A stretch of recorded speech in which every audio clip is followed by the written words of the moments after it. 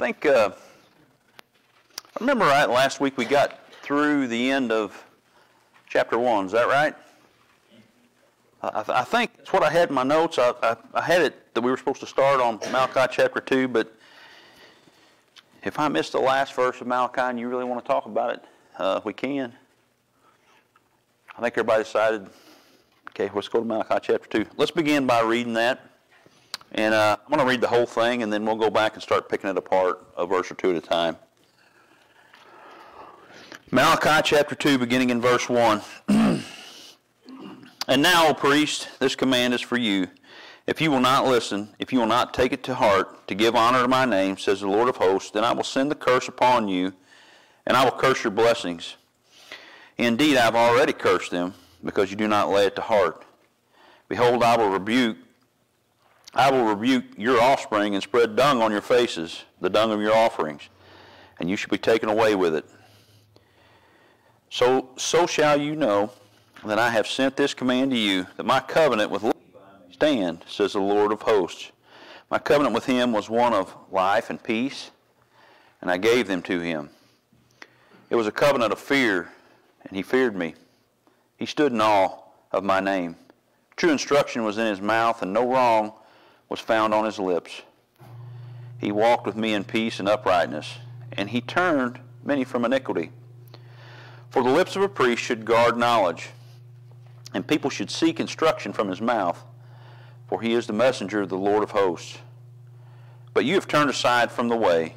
You have caused many to stumble by your instruction. You have corrupted the covenant of Levi, says the Lord of hosts.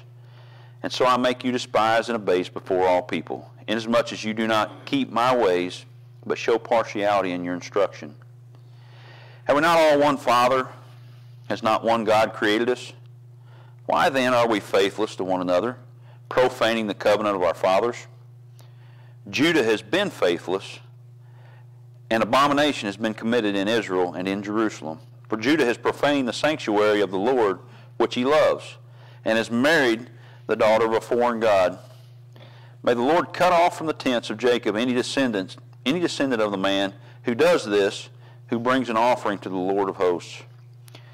And this second thing you do, you cover the Lord's altar with tears, with weeping and groaning, because he no longer regards the offering or accepts it with favor from your hand. But you say, why does he not? Because the Lord has witnessed between you and the wife of your youth, to whom you have been faithless though she is your companion and your wife by covenant. Did he not make them one with a portion of the Spirit in their union? And what was the one God seeking? Godly offspring. So, God, so guard yourselves in your spirit, and let none of you be faithless to the wife of your youth. For the man who does not love his wife, but divorces her, says to the Lord, the God of Israel, says the Lord, the God of Israel, covers his garments with violence says the Lord of hosts. So guard yourselves in your spirit and do not be faithless. So last, the, the first chapter, we talked about how that was to uh, uh, Israel in general and sort of uh, to the priests as well. And then here he begins right now. I mean, he's going to take the priests to task. Um, I think Wilford mentioned this last week. Um, one of the first things I thought of when I was studying this was the fact that 1 Peter 2 9 says we're what? Priests, right? I didn't mean we're offering sacrifices like those priests did, but we're a royal priesthood just like in the same manner of, uh, or in the same way that these priests were. Um,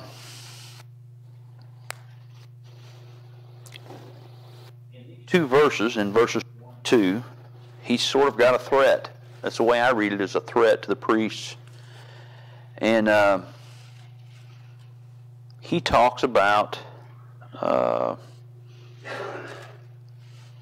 he talks about a curse. Uh, I guess that's later on. No, that's in uh, verse 2 there. And I'll curse your blessings. Indeed, I've already cursed them. Why the priest in particular?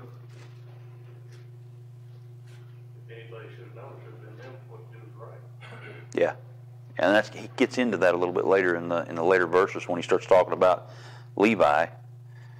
Um, it's interesting. You ever you ever uh, and I know God doesn't do this, but as I read what he's saying about Levi, that's not the Levi that I read about in the in the Old Testament, right? You know how sometimes you you you know somebody and then you you're, you're separated from them for a long time, and uh, and you get to thinking about them, and sometimes the way you remember them is not really how they are. I know I know that's not how God does it, but that's the first thing I thought of when I was reading. I was like, that's not the Levi that I knew. You know, I. And, and then that led me down another pig trail. We may get into some of it tonight. I don't know. But uh, yeah, he's telling them. Uh, he's telling them that he is. Uh, displeased, and he's saying, uh, "I'm gonna, I'm gonna curse. I will send the curse upon you, and I will curse your blessings." He'd already done this.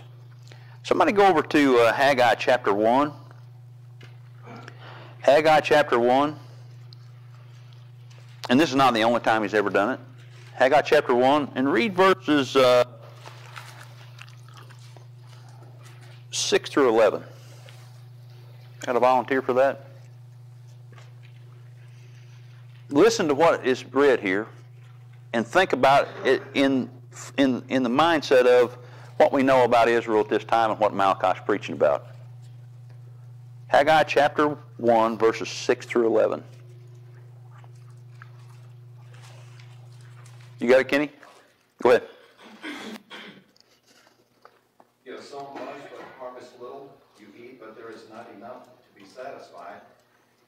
Think, but there is not enough to become drunk, you drink it. You put on clothing, but no one is warm enough. He who earns, earns wages and put into a purse with holes. Thus says the Lord of hosts, consider your ways. Go up to the mountains, bring wood, and rebuild the temple, that I may be pleased with it and be glorified, says the Lord. You look for much, but behold, it comes to little. When you bring it home, I blow it away. Why? Declares the Lord of hosts, because of my house, which lies desolate, while each of you runs to his own house. Therefore become, because of you, the sky has withheld its dew, the earth has withheld its produce. I called for a drought on the land, on the mountains, on the grain, on the new wine, on the oil, on what the ground produces, on men, on cattle, and on all the labor of your hands. Yeah, he's does it sound like he's pleased with them? You know, sometimes uh, I, I, get in, I sort of try to think back and I think about how people saw these things and and I, I hear some of it today. You know, you got some people look at this last cold snap we just had and like, it's global warming, we're all going to die. Then you got other people that are like, there's no such thing as global warming. We, uh, we, when you're talking about weather you know, I think people saw what was going on and they thought, well, it's just a dry year. Or, uh, you know, I know things haven't been worked out lately. They didn't want to, it's, it's almost easier just to kind of blame it off on that than to admit what the problem was. And the problem that he had in Haggai, and, and basically the same thing you're seeing in Malachi, is, is they didn't have their priorities right. Haggai, he, he says, You've got your own houses to sleep in. You didn't build mine. And they were supposed to, right? Um, they were worried about themselves, their physical needs, instead of their spiritual needs. And that's the same thing that I see here in Malachi. It's one of the reasons why uh, God is, is so cross with the, with the priests. Um, the other thing is, he's trying to get their attention, and, um,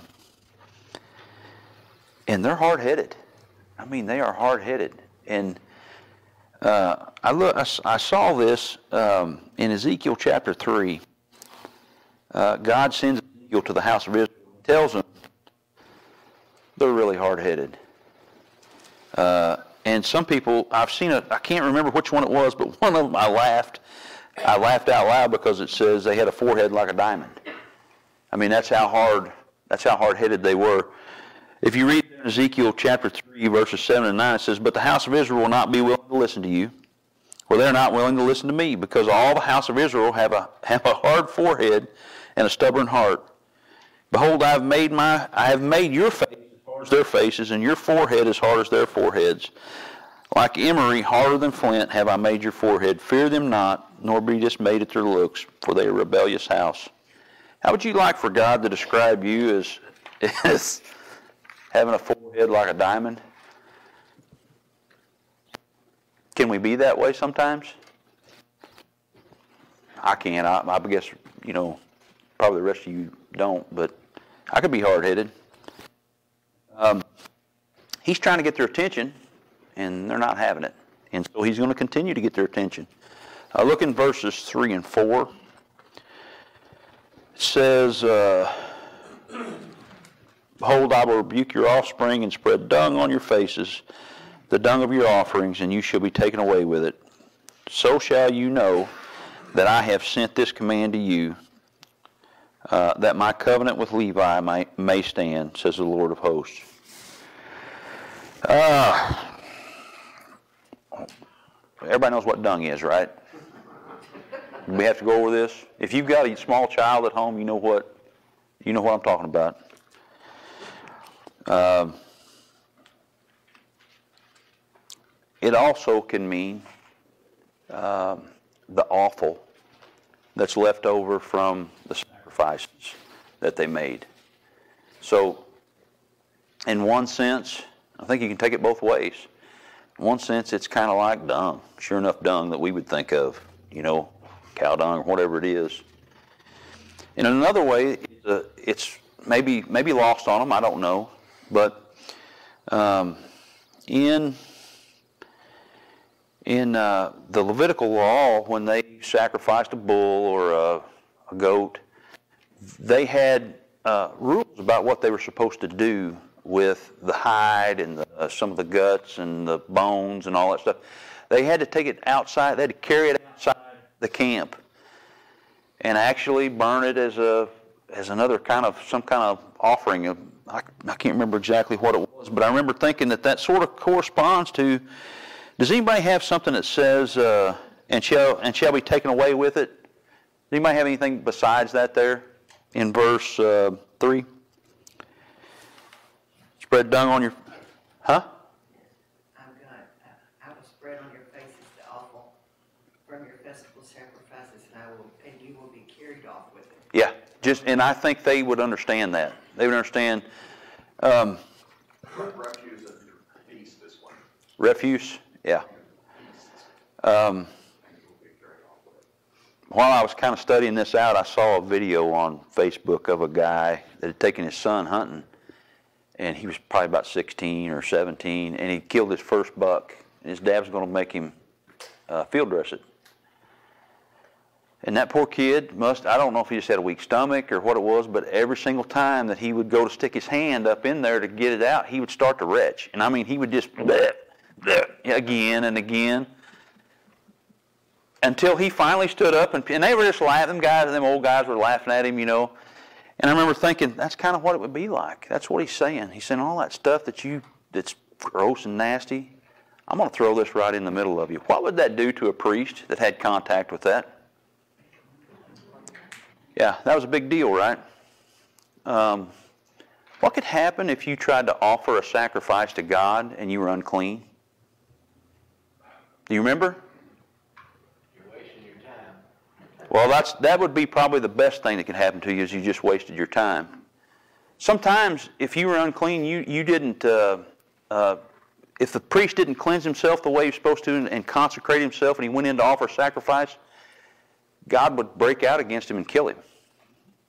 Dead. I mean, uh, I, I can't remember if I read that in an article somewhere, but I, I can remember somebody in a class talking about that the uh, high priest, they would tie a rope around his leg when he went in to, to, to give the uh, uh, sacrifice for the uh, sins of the children of Israel, the, the yearly, uh, I can't remember the name, the, the high, what am I talking about here? The one they did once a year, the Day of Atonement. I know They tie a rope around his leg because if he didn't consecrate himself right, he could drop over dead in there and nobody would know because he was the only one that went in. Okay? And he's going to start talking about some of the things um, um, about the priests that I find interesting. Why was Levi, the tribe of Levi, why were they priests? This is what started the pig trail that I, that I started studying. Why were they priests? Yeah, kind of. Um, if you if you remember, um, Levi had a sister named Dinah, and she was raped by this guy named Shechem. And um, and I promise you, we're going somewhere with this. But they, they, they, she was raped by Shechem, and Shechem decided he loved her and he wanted to marry her, but he wasn't. You know, they weren't allowed to intermarry and all that stuff, or they didn't, or her, her brothers didn't want him. They wanted him to, to be punished for it. So Simeon and Levi, they lied to him. They said, "All right, here's what we'll do. If you want to marry her, every man in this whole city, you, he was a prince. Shechem was a prince. Every man in this city uh, you got to be circumcised, just like we're circumcised. And Shechem's like, okay, we'll do it. And then it says uh, about three days later, when they were all pretty well hobbled up and couldn't move very good, Simeon and Levi went in there and killed every single person in the in the city. Now, like Adam said, they ended up they they didn't get an inheritance like uh, the other ones did. And part of that has to do with, uh, if you look at uh, Genesis 49, when Jacob starts, when Jacob starts uh, blessing all his sons, when you get to uh, Genesis 49, somebody read verses 5, 6, and 7 there.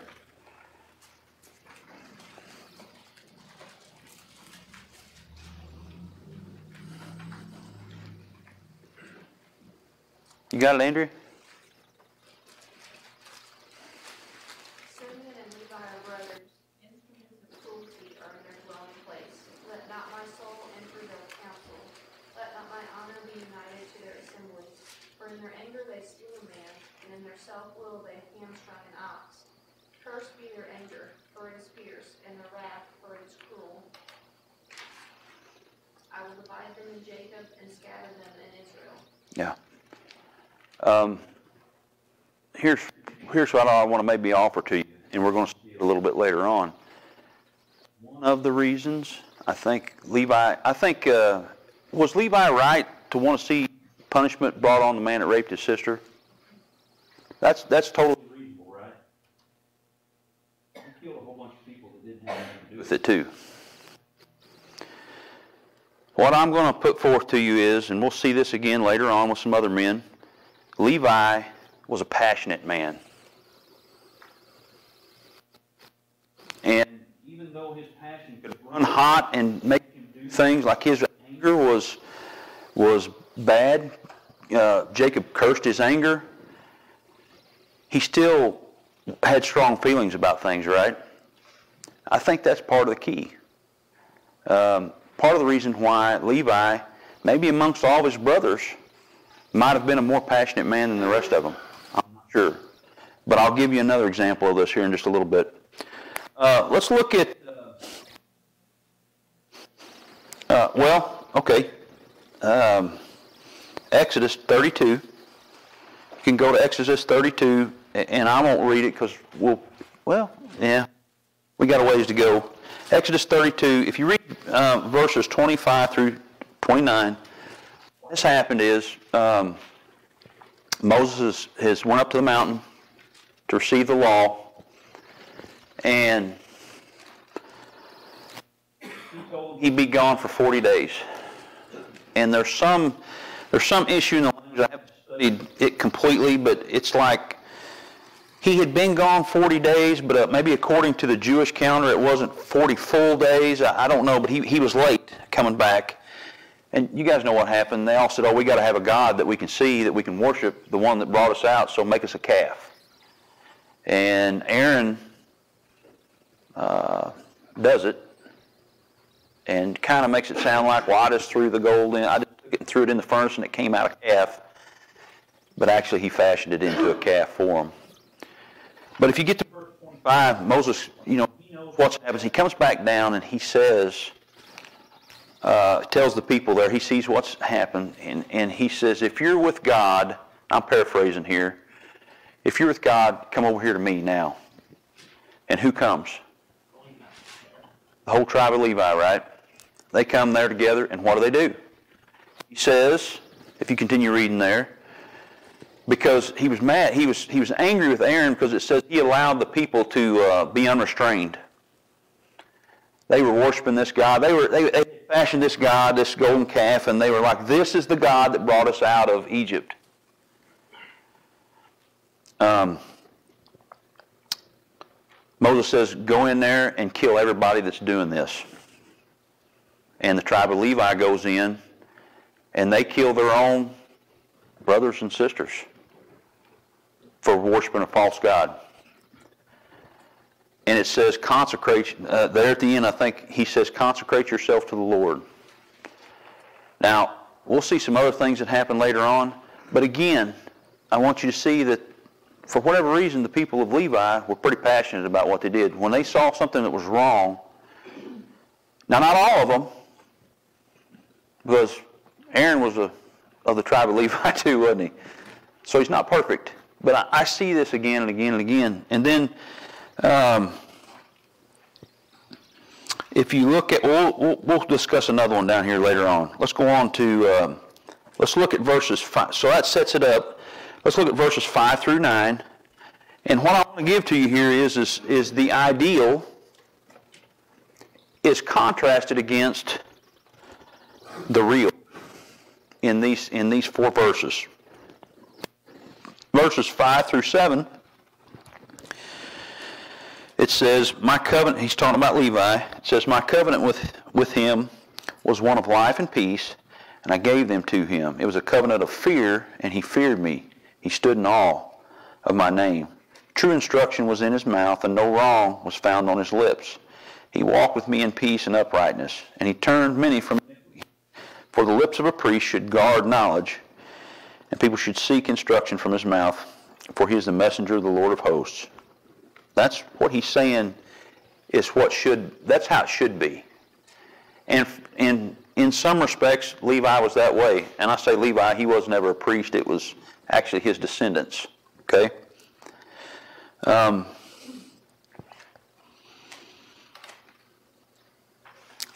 he's saying these, they feared him. They stood in awe of him. Uh, they taught truth. No wrong was found on his lips. He walked with God in peace and uprightness and turned many away from iniquity or sin. He guarded knowledge and was the type of person that people sought out instruction from. I would ask this. Can you describe, can you look at that and say, I'm, I'm kind of that kind of person? Because if we're priests, and we are, does God expect us to be this type of person today? Yeah. It should be a goal at least, right? Um, verses 8 through 9 are going to describe how it actually is. Uh, and he says, uh, But you have turned aside from the way, you have caused many to stumble by your instruction. You have corrupted the covenant of Levi, says the Lord of hosts, and so I make you despised and abased before all the people, inasmuch as you do not keep my ways but show partiality in your instruction. Kind of keep your finger on that last part. We'll come back to it. Um, there was a guy of the tribe of Levi that distinguished himself from the rest of them in his passion. And it was said that God made a covenant with him that his his uh, family would be, his descendants would be um, priests. You remember who he was?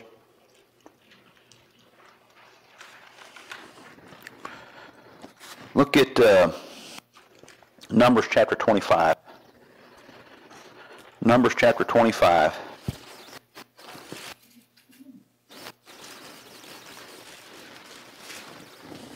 Uh, somebody read verses 10 through 13 for me there.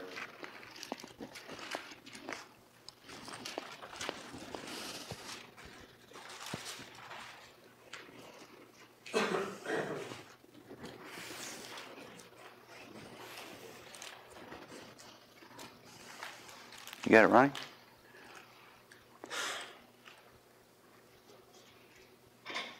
When you got it? Go ahead. Ten through thirteen. Yep. And the Lord said to Moses, Phinehas the son of Eleazar, son of Aaron the priest, has turned back my wrath from the people of Israel, and that he was jealous with my jealousy among them, so that I did not consume the people of Israel in my jealousy. Therefore say, Behold, I give to him my covenant of peace, and it shall be to him and to his descendants after him the covenant of a perpetual priesthood, because he was jealous for his God and made atonement for the people of Israel. So here's what happened. If you go back and read the preceding verses, um, God had sent a plague amongst the people because they had been marrying wives that were not, uh, they were forbidden to do this. This ties in later on, I think you can see. They've been marrying uh, foreign women, and those women were were influencing their husbands and their and their children to go off into idolatry. So he sends a plague on them. In 20, uh, I had it written down here. 24,000 uh, had died. And um, this guy, um, he's from Simeon, the tribe of Simeon. His name's Zimri. He takes a Midianite wife, and he kind of does it in defiance of Moses. Just like I'm, this is my wife. I don't care what you guys think. I don't care what. Just totally oblivious to the fact that 24,000 people had died. Phineas, who is the grandson of Aaron, says he was eaten up with zeal for God. He he basically takes a javelin and kills both of them. And uh, the Lord stops the plague uh, that had killed 24,000 people. And then he makes that covenant with, with Phineas and his descendants. Again, murder's not murder's not uh, right. But in this instance, this this was more like judgment. God had said, you know, he was he'd killed 24,000 people already, and he made this uh, judgment on Zimri and his wife. Phineas killed both of them. I think the key that I see here, and and I'm if you want to if you want to think of it too. Um, Levi, Phineas. David was this. David's not of the tribe of Levi, but uh, David was a man after God's own heart. What's one of David's um, defining characteristics? He was a passionate man. When I couple that with, with what I see, uh, like what uh, the book of Revelation says about the church at Laodicea, isn't that the one that he said, uh, I'd rather you be hot or cold. If you're lukewarm, I'll, just, I'll spit you out. I bring all this up because he's, he's saying Levi is the guy. I really want you to be like Levi. Maybe not to be as angry as Levi was, but to have that kind of passion for God. That's what he wants from us, I think. That's what he wanted from, from Israel. And they're just sort of mailing it in. I mean, they're just not, they're just not I mean, they're offering bum lambs, you know, blind lambs and lame lambs, and they knew that they were supposed to offer the perfect ones, right? Um, if you look at um, the one I always go back to, it's it's first. We won't read it. First Samuel 17, verse 26. When David, I say he's a man of passion. When David comes on to the scene, and and and Goliath is out here cursing everybody and daring them to come out and fight him. And David's like, why has somebody not went and killed this man? You know, he, he can't understand it because he's defying the living God of heaven, right? He, and, and he, uh, out of all the people, nobody wanted to go fight Goliath, right? David was a man after, his own, after God's own heart, at least in part because of his passion that he had. He had passion and zeal for, for God. That's what he's looking for from his, from his uh, from his uh, priest here, and they're not any, and they're not giving it to him. You have any questions about that? Let's look at verse 10.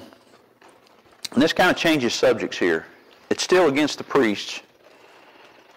Uh, but it says, Have we not all one Father? Has not one God created us? Why then are we faithless to one another, profaning the covenant of our fathers? Um,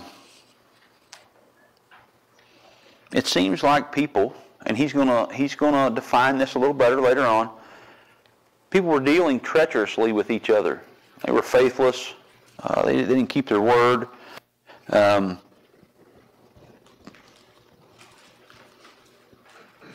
they um, they profane the covenant. It says. Um,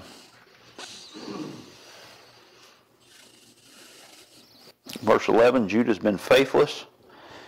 An abomination has been committed in Israel and in Jerusalem, for Judah has profaned the sanctuary of the Lord, which he loves, and has married the daughter of a foreign god. Somebody have uh, Michelle? You used to you you have King James, don't you? You didn't bring okay. Somebody else have a King James version? You could read that verse for us. You got it? Try that and See what it says. Eleven. Judah has dealt treacherously, and an abomination has been committed in Israel and in Jerusalem. For Judah has profaned the word, the Lord's holy institution, which he loves. He has married the daughter of a foreign god. Do you see the difference there? Uh, my ESV says, For Judah has profaned the sanctuary of the Lord, which he loves, and has married the daughter of a foreign god. And yours said, profane the Lord's holy institution. Lord's holy institution. What's he talking about here?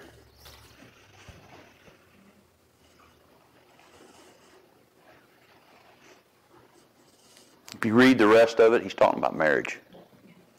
Um, New King James, I guess, uh, I think maybe the King James did too. They, uh, when that word institution in your Bible, is it in italics? Yes. Okay. So when you see that, what that means is, is that word didn't appear in the um, original uh, language. It means that the translators inserted that there to help make the to, to finish out the idea. Because sometimes, uh, sometimes Greek uh, is really succinct in what it says and is really good, but every once in a while it doesn't translate over to English very well at all. So they put this word institution in there. ESV doesn't have it because it doesn't it doesn't show it. Um, it's it's not there. But in light of the rest of the passages that he's going to talk about, um, you're going to see that fits perfectly. He's talking about marriage here. They have defiled the institution of marriage. Um, part of uh, Exodus 34:16 uh, says that part of the covenant law they had, they weren't to take foreign wives. Now, I don't know the answer to this. I want to ask a question, and some of you are smarter than me and you know. Was it ever okay for them to take a foreign wife if that foreign wife converted, became a proselyte? Does anybody know that? I, I don't know the answer.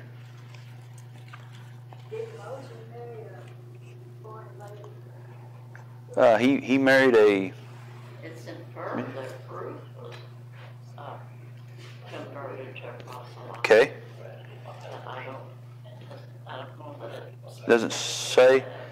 You have to be careful because if you can find an example of something happening, it doesn't mean God approved of it, right? Just because you see something, you know, there's, there's people that say, well, uh, if you go back to, um, if you go back to Jacob, he had more than one wife. That did happen. Was that how God designed marriage to be? Jesus said it wasn't. So, I'm not sure what the answer is. This is one that I'll have to probably go study myself later on. Well, Uh. There's, there's uh, two people in the lineage Jesus that weren't Jews. uh, Rahab and uh, Ruth. Well, that's what that's kind of what Miss Schroeder's saying that it's insinuated that they. That, that's what I'm saying. Became proselytes, I guess. Yeah. Um, The only, five minutes. actually, if you reverse it, the condemnation comes to marrying a non-Jew who did not worship God, but worshiped foreign gods. Mm-hmm. So if they were a non-Jew and worshiped God, I don't know if they were considered a foreign wife or not. Yeah. I bet they knew. I bet it was not, I bet, I bet they knew. And that's kind of where I'll go with this is, is I, I don't know what the answer is. It seems to me that if I found a woman that I loved and she was worshiping some false god, and I convinced her that the God of heaven was the God of the universe, and she she believed that and and decided she was going to follow, kind of like Ruth did. Uh, your people will be my people, and and uh, your God will be my God. That sounds like conversion, doesn't it? I would think that would be okay, but you're still kind of going against what God told you to do. And so they had done this a lot. Um, I do not know at this particular time. One thing that I don't see a lot of, I don't see a lot of evidence for it. Uh, I'm not saying it didn't happen, but do, do you guys know, does anybody know, did, were there still plural wives happening here?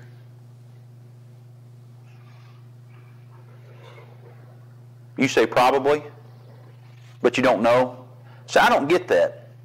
I get that's why they're because because um, if you if you go on down here, um, it's going to talk about how they were divorcing the wife of their youth.